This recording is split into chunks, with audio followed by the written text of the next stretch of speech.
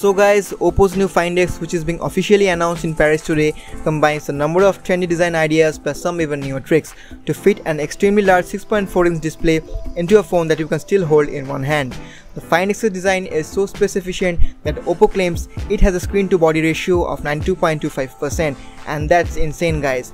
And it does this without utilizing a notch which should make at least some people happy.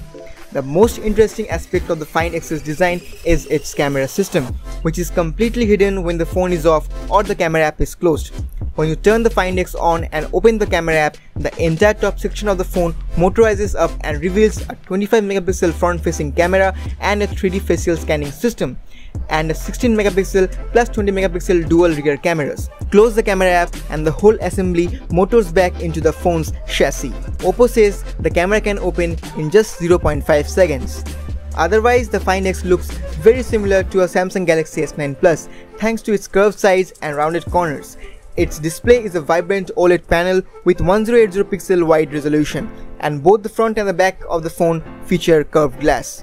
And talking about the specs, the Oppo Find X features the Qualcomm Snapdragon 845 processor and 8GB of RAM and offers up to 256GB of storage. It has a 3730 mAh battery with Oppo's VOOC fast wired charging that's similar to the OnePlus Dash Charge. The Find X is a dual SIM phone that's also globally compatible.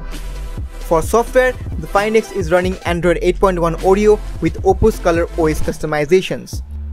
So guys, now we have to see how the phone performs in the real world. So till then, I am Shobik signing off and I will see you in the next video.